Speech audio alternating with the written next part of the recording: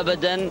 نطلب السداد والتوفيق يا رب العالمين. شكرا للزملاء الذين سبقوني بالنداء والتعليق. نبدأ معكم وبحضراتكم ومع انطلاقة شوطنا الرابع لنتابع منافسات سن الثنايا لنشاهد انطلاقات الثمانية كيلومترات.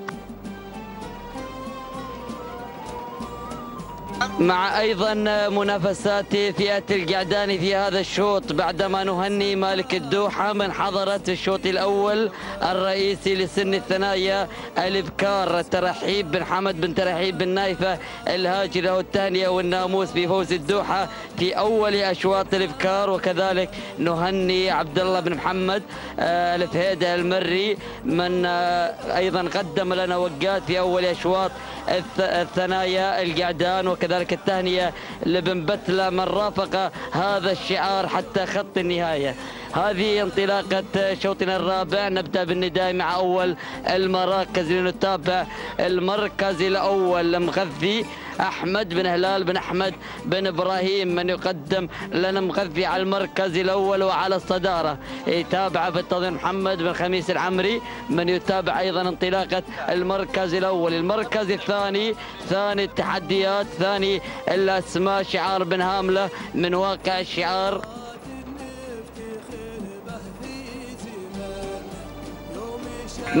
تواجد على المركز الثاني وينطلق بشعار بن هام لذيب لسالم بن حمد بن مبارك النابت المري. المركز الثالث اللي تسلل من الجانب الأيمن هذا هو الترس لمحمد بن جبر بن عبد الله الهاجري. المركز الرابع رابع التحديات. نتابع معكم وصولي وتقدم ميات سالم بن فرحان بن خميس العنزي أيضا غادم بشعاره. يا أبو سعد وحاضر بانطلاقة المركز الرابع. المركز الخامس وتابع أيضا الشعارات القادمة الواصلة بقيادة السيل الجارف بانطلاقة ووصول ولد شاهين مبارك بن سعيد بن عويضة السلمي. أيضا هذا الشعار كان لحضور أو السلمي كان لحضور مميز في أشواطنا التي انغضت في هذا الصباح.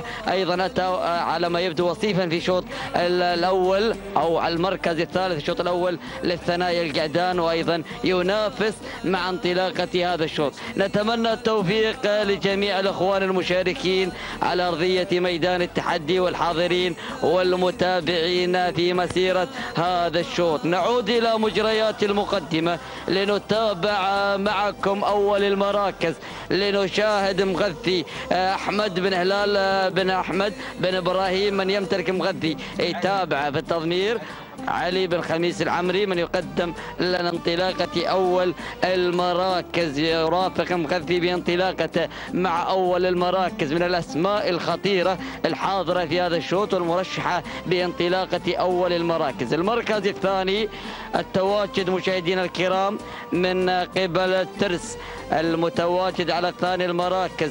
الكل يحترس من الترس لمحمد بن جبر بن عبد الله الهاجري من يود المهاجرة بناموس هذا الشوط. المركز الثالث أتابع معكم شعار البرنس. هذا شعار الدوحة ام السيوف يحضر بانطلاقة الكبار ويتواجد بانطلاقة هذا الشوط. يحمل شعار أيضا حمد بن محمد بن طالب بن عقيل على ظهر مبلش المتواجد بالانطلاق مع المركز الثالث. المركز الرابع يصل ظبيان على رابع المراكز.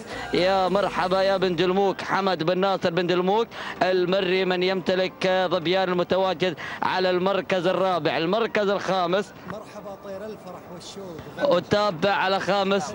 المركز الخامس وصول مدلل يتقدم بهذه اللحظات لسعد بن علي بن حمد بن سلام الهاجري. أيضا ما من سلامة من هذا الشعار وبحضوره وانطلاقاته الكبيرة الحاضرة بانطلاقة هذا الشوط هذا شعار ناصيه هذا شعار ناصيه وشعار الأسماء الكبيرة اللي رافقها هذا الشعار بصولاته بجولاته بانطلاقاته بحضوره الكبير في أرضية هذا الميدان وأيضا في المحافل الخارجية في دولة الإمارات في ميدان الوثبة والمرموم وكذلك في الكويت وكذلك أيضا في المملكة العربية السعودية. نعود إلى المقدمة بعد ما أتممنا النداء للأسماء الخمسة الأولى الحاضرة والمتواجدة مع مسيرة هذه الانطلاقة. المركز الأول والصدارة هذاك مغذي اللي على القيادة والريادة. أيضا يتواجد بالانطلاق مسيطر تمام السيطرة على المقدمة. أحمد بن هلال بن أحمد بن إبراهيم من يمتلك مغذي. يتابع أحمد بن خميس العمري. من يرافق بالانطلاق من يرافق في المسايرة من يرافق في الضمار بانطلاقة المركز الأول. المركز الثاني القدوم على ثاني المراكز هناك مغذي مسوي فارق ما بينه وما بين الأسماء المتواجدة. القادم على المركز الثاني مدلل. الدلل يا مدلل. هذا مدلل بشعر بن سلامة. سعد بن علي بن حمد بن سلامة. يتابع عبد الله في عملية التضمير والمسايرة. المركز الثالث وتابع ضبيان حمد بن ناصر بن دلموك. أيضا يتابع محمد بن ناصر من يرافق انطلاقة هذا الشعار بتواجده الجميل على المركز الثالث المركز الرابع. وتابع على رابع التحديات انطلاقة وتقدم الترس لمحمد بن جبر بن عبد الله المخضب الهاجري والمركز الخامس. الواصل على خامس المراكز. من يحمل الرقم واحد يصل عرعر لمحمد بن ناصر بن مسفر الخليل الشهواني. أيضا هذا أحد المسميات الخطيرة واسم عرعر اسم مدينة في شمال المملكة. في شمال المملكة أيضا معروفة بجمالها بأيضا طبيعتها الجميلة وببرودة جوها في شمال المملكة. هذه هي الأسماء الحاضرة والمتواجدة.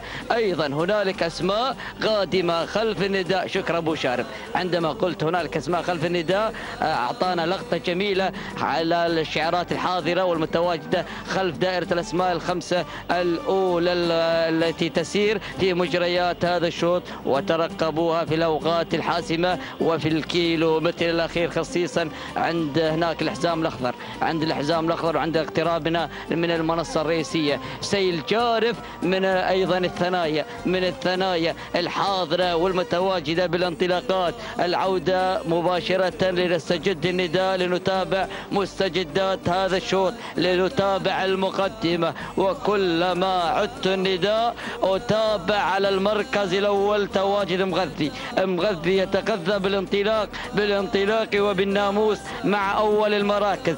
أحمد بن هلال بن أحمد بن إبراهيم من يمتلك مغذي. أحمد بن خميس العمري من يتابع بعملية التضمير المركز الثاني القادم والمنطلق على ثاني المراكز.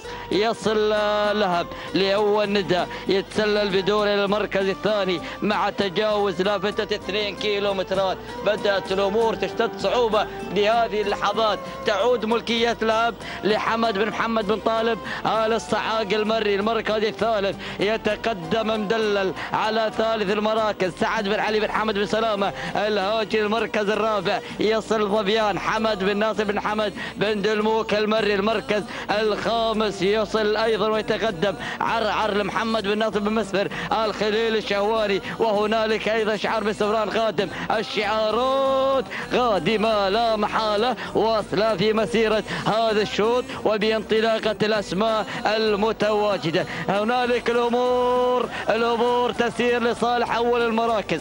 لصالح المركز الأول الصدارة. مغذي مغذي مغذي يا سلام انطلاقه مغذي خطيرة خطيرة للغايه هنالك يقدم أداء كبير يقدم أداء مميز يباعد المسافة مع الصدارة بدون أي تعليمات. يبدو الانطلاق ذاتي ذاتي. بعد بعد بعد الأمور مبكرة مع مغذي وانطلاقته. أحمد بن هلال بن أحمد بن إبراهيم العمري اللي يتابعه. المركز الثاني. أعلن الحرب أعلن الحرب مع راعي لهب مع المركز الثاني السعاق. قادم قادم بانطلاقة لهب. هنالك تواجد والحضور لحمد بن محمد بن طالب السعاق المري من يقدم لنا لها بعملية التضمير والملكية والمسايرة. المركز الثالث يصل ظبيان على ثالث المراكز. حمد بن فرج بن حمد بن دلموك. المركز الرابع يتقدم شعار بن مهيرة وصل بن مهيرة قادم لكن في اللحظات الأخيرة. خلاص. Gol!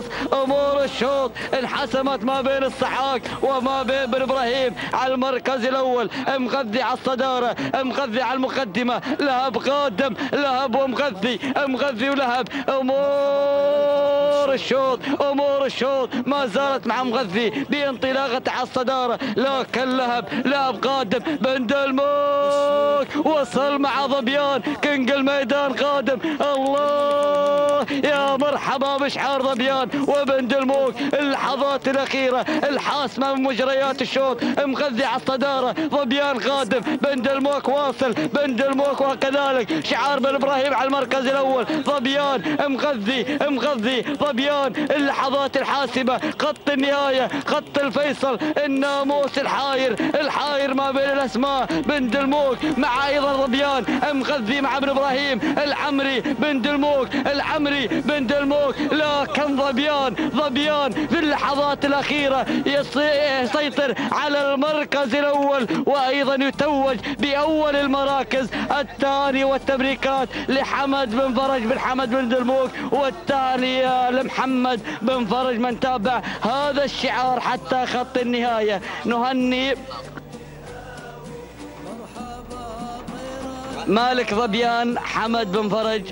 بن دلموك المري والثانية لآل دلموك كافة.